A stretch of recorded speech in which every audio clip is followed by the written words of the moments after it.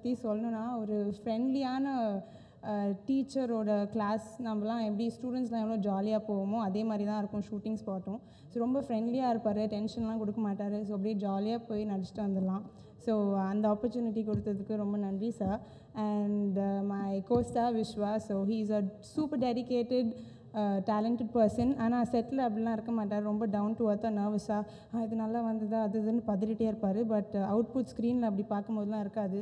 இந்த பையனா இவ்வளோ பதறனான்ற மாதிரி இருக்கும். So is is done a very good job so December thirteenth அன்னைக்கு படம் ரிலீஸ் ஆகுது. எல்லோரும் பாருங்கள் and thank you to the producers also so அவங்க இல்லைன்னா is complete thing won't happen I am so happy to be here once again கண்டிப்பாக December thirteenth அன்னைக்கு படம் பாருங்கள் I I it be a worth film to watch thank you